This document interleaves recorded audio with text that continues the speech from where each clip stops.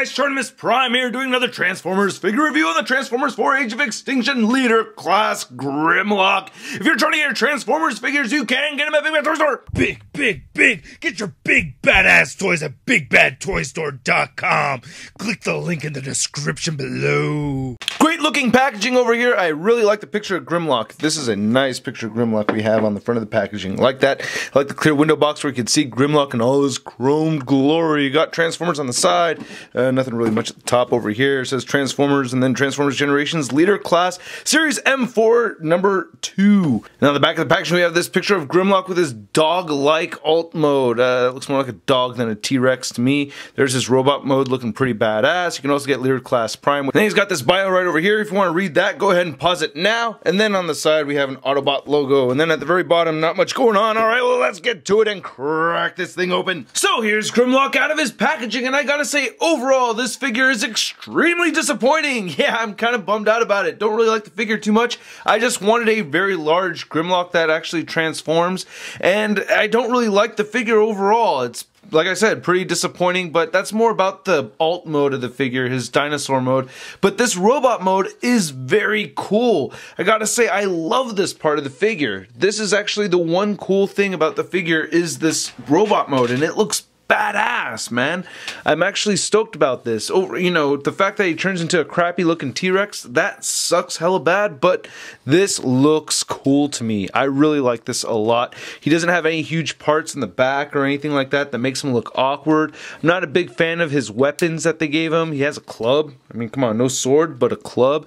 He has this kind of weird looking shield over here, which isn't too terrible or anything, but a nice looking figure. He has nice chrome applications over here with the shin shins and over here on the torso and then the shoulder pads. So it's distributed evenly, I think, throughout the figure. I think it looks pretty nice. So let's take a closer look at his accessories and then we'll take a closer look at this Grimlock in his robot mode. So here's the Dragon Tooth mace that he comes with. And like I said, I don't really like the choice for him having a mace instead of a sword, but I think it's a pretty cool looking mace. It doesn't look too bad. And this does form into the tail of Grimlock. Uh, actually, we just go over the transformation really quick on this. You just uh, collapse this in right here. Make sure this is pushed down. This has a hole right over there and over there, and these tabs stick out and place nicely. So there's the tail. And you can see his shield is tabbed into his forearm over here, so there's that slot right there. And when you put this in, it just goes like that, so that's not too bad. And I really like this gold chrome on the inside of the shield. I wish it was painted like that on the outside, but this bronze color over here isn't too bad. I just think this gold on the interior of the shield looks a bit nicer. That looks really cool. I wish that was on the outside. And then it has these spikes right over here, and then this little spike right here serrated. It's not bad, so you just want to flip this down and then move this all the way back. And then you connect this to the mace. See, these two parts connect into these two empty holes right over here and we're getting it done. Boom. There it goes. So you can see that's going to plug into Grimlock later on. So as I had mentioned in my other Bayformer Dinobot reviews, they all have this knight theme going on, which I think is a cool move. I like how this looks and I really like the head sculpt of this figure. He has no light piping. He has this light teal color painted for the eyes, so it's not really blue. Definitely more of a turquoise kind of color. But I like the face sculpt. I think it looks really cool and I really like the helmet on the figure. It looks really nice. I like the color choice. It doesn't seem like it's just a solid black. It's got some kind of a metallic sheen to it on the face, and I think that's pretty nice. And I like the bronze color for the helmet. I don't remember seeing any bronze in the Grimlock from the trailers or anything, so we'll see. But uh, if you can get there, yep, there's the back of his head. Not a whole lot going on. Then this spike right over here is made out of a somewhat pliable material, so you don't have to worry about that snapping off very easily. And it's kind of hard to see his face as you turn it from side to side. He's got that guard right there, and that really blocks a lot. But I really like the design for this. I think it looks really cool. I like the chrome. You can see my reflection of my hand waving in the chrome. As we pan back and get a wider shot of this guy, it looks pretty awesome still, man. Look at that. I really like the teeth right over here. That's awesome. I like how the T-Rex head makes these shoulder pads. That's a very cool move as well. And all this chrome right here on the torso section is pretty nice. I really like that a lot. I think that was a very smart move on Hasbro's part. I'm digging the chrome. And it's not too fragile. I've transformed this guy numerous times and I haven't had any chrome really chip off on me or break, but we'll see in the future because the figure is still relatively brand new. He has that same bronze color going on on the top of his arms over here. Very shiny metallic paint. It actually has two different kinds of plastic over here. There's a variation between these two. Uh, this one's a little shinier. This one's a little bit more flat.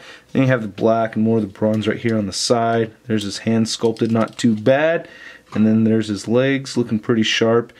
And I like this plating over here for his crotch piece and everything. It looks pretty good. Very much looks like a knight. And then the chrome again right here on the inside of his calves. He has pretty skinny legs. His legs do look pretty skinny. Then here's some random spikes kind of filling this out right here in the back. And then here's his pointy elf shoes. Not too shabby. I think it looks alright. And as I had mentioned before, I really like that there's not a whole lot of junk on the back of the figure.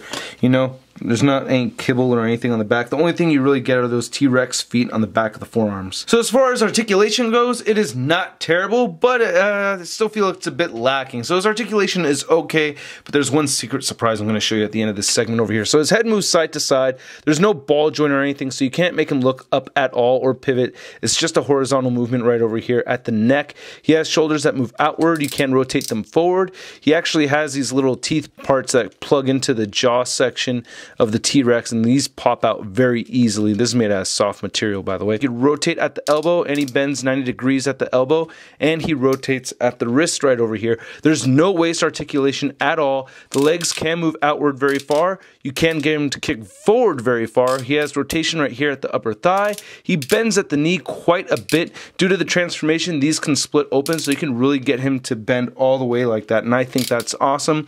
And the feet can move down and move up and you can rotate them side to side and you don't get any ankle pivot.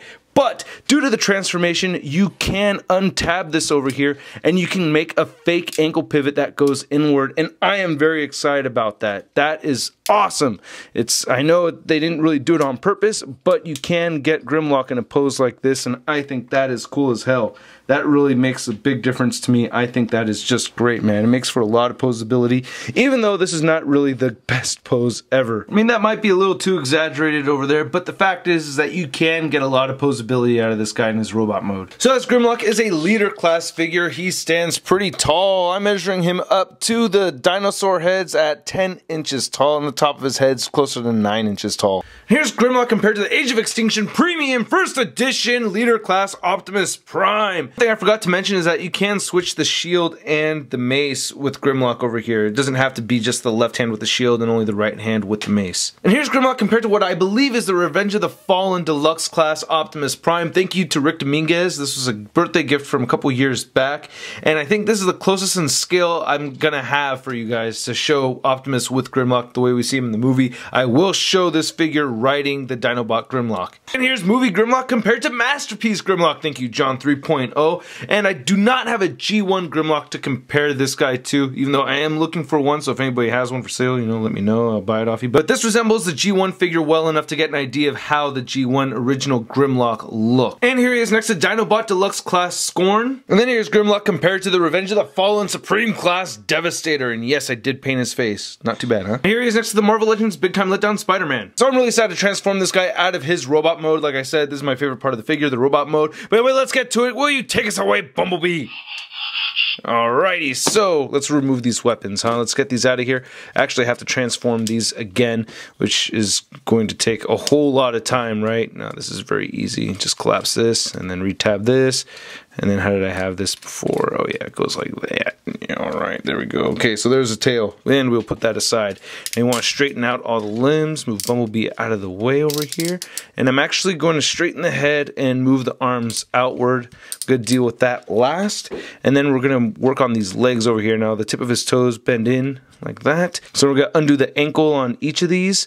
And undo that one. Like I said, they bend inward and then split them apart. These tabs right here go into the knee joint right there. So that's how that connects.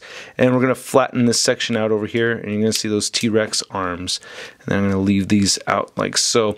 Now it gets a little tricky with the ankles over here with these feet. Uh, you want to rotate uh, at least 180 degrees. Actually, I like having the toes pointing towards the darker part over here. And then I'm going to flip this all the way around, and then bend this inward, flip this all the way around, and then bend that inward. But like I said, I want the toes pointing the darker part right there. So trim this once more again. So yeah, kind of forgot. Now the directions on this actually are pretty weak because they just show how to transform them from T-Rex mode into robot mode. So you kind of just have to figure it out on your own unless you're watching this review. You want to remove this jaw part over here, move these pieces up, and then you want to take these little rubbery pieces and move them down like this and then you're going to shift this whole upper torso section up. So go like that, and we're going to leave this sideways. And now this is the part of the transformation I really, really hate, is that this bronze part right here is connected into the chrome, and this was a big moment of fear for me. I felt like I was going to really break something, and sometimes it still does feel like something's going to break, but you want to untab this. So where this meets, it's going to come apart, and it goes undone like that. And this tab is going to move into a separate tab. So we're going to move this so that it's facing forward. So you can see the difference right there and right there. Oh God, I hate doing this part. There it goes. See that loud sound? It's scary, man. It sounds like something's going to break. Anyway, move that up out of the way and then we're going to move, uh, we, we can actually attach the T-Rex head. Uh, it splits apart right here from the jaw, it swings upward, so we can take this apart and then move the jaw down as we do that, and then do the same thing on this side over here, split this apart, and then move the jaw downward and swing it forward, and then connect the face together, and everything tabs in nicely. There's tabs on both the upper and bottom part of the jaw, and there we go. We have a T-Rex looking face, and then we're gonna want to scoot this back over here, and then rotate these around, and rotate this around, and then what's gonna happen is we're gonna fold this all, or actually want to rotate this again, and then fold it in like that. So see that I did rotate this 180 degrees and fold it in like that. And then there's all these tabs in here that you need to really pay attention to or else it's not gonna, not going to connect securely. So there's these tabs right here. That's going to go into these sections of his legs from his robot mode. So we're going to put that in there and tab this in here. Then there's these other tabs right here on the bottom part of these legs right there. And it goes into this black part right over here. And that's going to fold and connect right over there as well. So you want to make sure everything's tabbed in securely and it goes in not too badly. And then put these flaps off to the side. And then these chrome pieces are going to meet right here in the middle. So let's get that all put together and get this meeting right here and it's not too shabby except for that little arm falling down and we're almost there just put this right back it's not too bad and then we can actually just move uh, these little feet down. So the toes are pointing downward. And then this got undone over here. And then you want to rotate so that these shoulder pads are facing upwards and then move them down do that over here and then move the feet down and then rotate at the elbow or at the knee, I guess. Now it's a knee. And then all you really have to do now is just attach the tail. There's these two chrome pieces that stick up. There are these tabs right here and right here. Very hard to see because there's a whole mess of chrome, but one and two. And then there's these holes that they're going to go into, and this will complete the transformation. So let's get this all put together nicely and get these arms straightened out over here. And there it is. That is the T-Rex mode. I don't like it. I, I really don't like it. it. It's it's quite terrible in my opinion. This is just my personal opinion, but I don't like this. I think this looks like a crappy looking T-Rex. This looks weird, man. Looks like a flying dog or something. Never ending story. Oh, and it came apart. But with playing around aside and everything, man, I mean, really, come on. Ah, this figure just looks so weak in this T-Rex mode. I'm really not liking it. The head's not big enough. This whole torso section's way too long. The tail could be longer. Maybe it wouldn't feel like this torso section was so long if the tail didn't seem so short. And you can't really get him standing up, uh, leaning forward like the way we've seen him in the trailers. This is actually much more of a G1 Grimlock kind of stance with the tail touching the ground, but the tail doesn't even really touch the ground on this guy. But to get 360, oh, and this pancake effect over here, looks like he's been flattened or something. It's really weird. Uh, I really don't like how this thing is molded. Again, I like the chrome and I like the color choices throughout the figure. Actually, if you bend the knees enough, you can get him in that T-Rex stance. One thing that kind of stands out that's a little weird to me besides these giant ears over here is that he has canines. Uh, if I remember, I mean, I'm not a paleontologist or anything, but I don't think T-Rexes had canines. I think that's a mammal kind of thing, but I don't know. I could be wrong. I really really like how the eyes look. though. The teal color works out very, very well. It looks like it's glowing, but it's just the chrome reflecting the teal from the eye. I think that's really nice. Then looking at this guy dead on, he's got this huge gap right there in the lower jaw, and it's kind of, I don't know, looks like it's not very threatening when you look at it dead on like this, because like if he just goes to bite you, it's just going to go into nothing. I think that's kind of weird. The teeth are made out of a pliable material, so you don't really have to worry about those breaking. So I like the chrome and everything. The chrome does look nice, and I like the variation. We have this gunmetal color over here. I do have some light scratching on it, but it's not bad. I think overall it came out pretty durable. And then just looking at the rest of this guy, you know, as far as the paint choices and the sculpting, nothing terribly new over here. You can see his hand sticking right there in the back. We get these big T-Rex toes over here too. Here's his underbelly. It fills out nicely. It's okay. Eh, it's not great. Eh, I'm not a big fan of it, so I've said that many times. But yeah, so here's the rest of it. An okay Dinobot mode. I really just I don't like it. Now, as far as Grimlock's articulation goes, his head can move back that much, but it kind of splits apart, so it's more due to the transformation it can do that. And you can get him to look down a little bit. Uh, it's kind of scary, but you can do that if you wish, so that's kind of neat. And he does have the jaw articulation, but you can't rotate his head side to side or anything like that.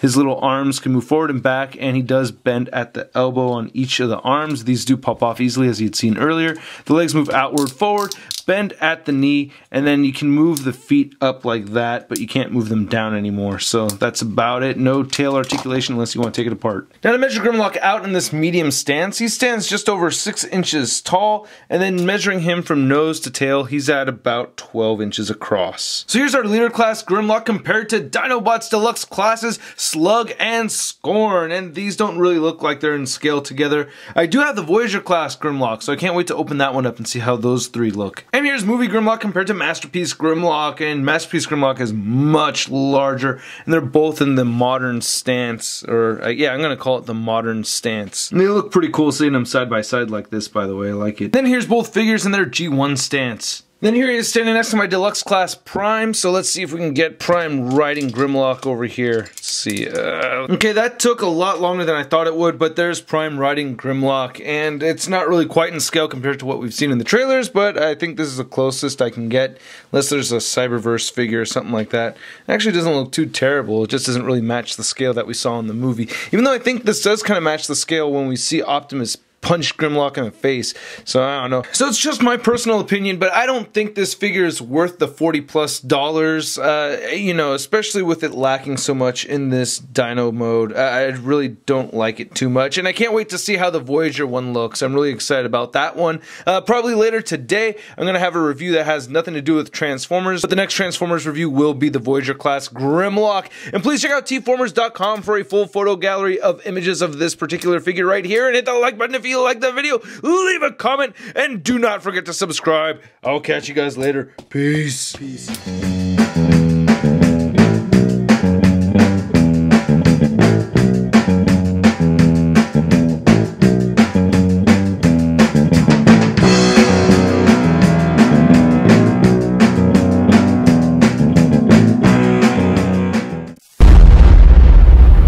That's crispy. Like this alt mode a lot. So I'm really excited to trans. So I'm really. Tra-